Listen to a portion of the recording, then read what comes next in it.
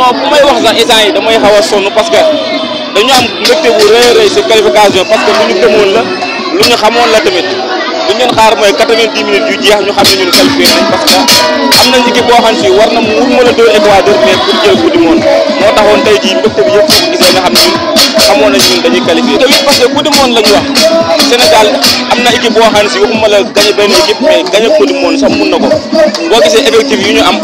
coupe du monde la nag match la yoo xam ne si moom match bu ne ak ni ñu koy fubalee compétition la boo xam ne si haut niveau la mais ñi nga am yaakaar bu baax ak joueur yu ñu am ak coach bu ñu am mobilisation bu nga si Sénégal war na mun a waxuma la sori waaye gañ a coupe du monde. Sénégal bi xanaa mbégte rek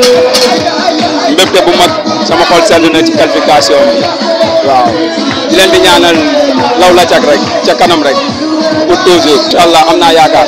ci football bu ñu wone ah xale yi am nañ jom mën nañ football seen morom yi lañ fa fekk defe naa nañ def lu raw loolu quoi bilaay walaay dañuy indi coupe bi pour Sénégal incha allah man Jacob mooy sama fan Jacob si lu mu def tey defu ko fenn loo ñu def waaw lii moom mbégte bu rëy la mooy loolu ñooy kontaan si classement bi Aliou Cissé wane na boppam parce que premier match bu ñu ko péré ñëpp daanoo wax yu bëri naa Aliou mënul lii kon tey su demee ba def changement changement bi sotti dañ ko nar a wax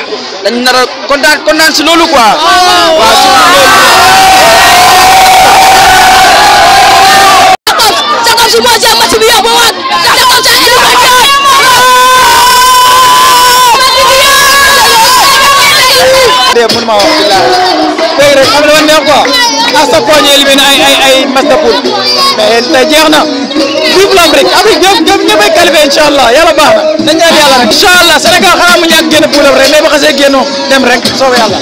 dem rek dem rek waaw dem rek.